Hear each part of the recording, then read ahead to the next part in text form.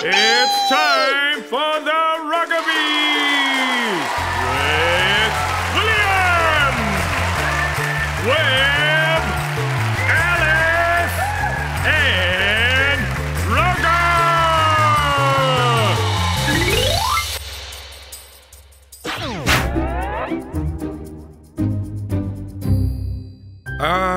it's so great to look around and see a nice, tidy house. As the old saying goes, cleanliness is next to ruggabiness.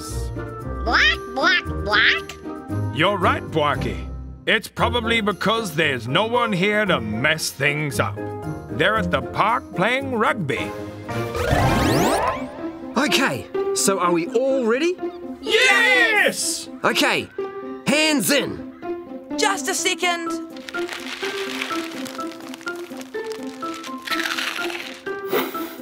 Ah. Let's go, Ruggerbees! Hey, what's wrong? William, you just threw your empty packet onto the ground. And And it's called littering. William's a litter bug. it's only a plastic bag. Or two. I think we should all tidy up before we play. Not me. I've got better things to do. And anyway, the wind will blow all that stuff into the sea where it disappears. Laters!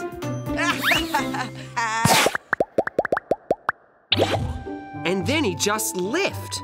He left all his rubbish at the park. Hi, everyone.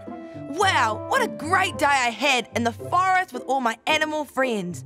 And then I went swimming with some dolphins at the beach. Good for you, William. We spent the whole day tidying up your mess. William, is it true you're a litter bug?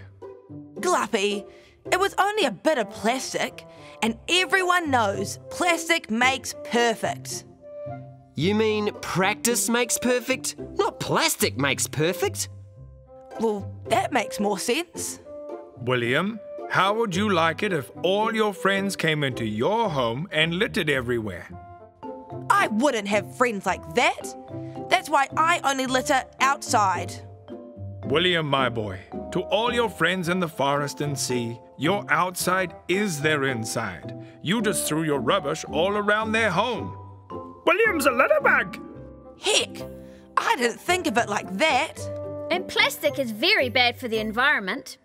Maybe if we put it like this Plastic bags are so much fun. That's rubbish! Plastic doesn't hurt anyone! That's rubbish! When you see it on the ground, Pick it up, pass it on, push it down in the bin. Plastic bags are so much fun. That's rubbish. Plastic doesn't hurt anyone. That's rubbish. When you see it on the ground, Pick it up, pass it on, push it down in the bin. Plastic's a big meanie! Okay, from now on, I'm going to think about inside, outside, and everyone else when I have some rubbish. That's what I like to hear. We all share Ruggerland and all have a responsibility to keep it clean and tidy.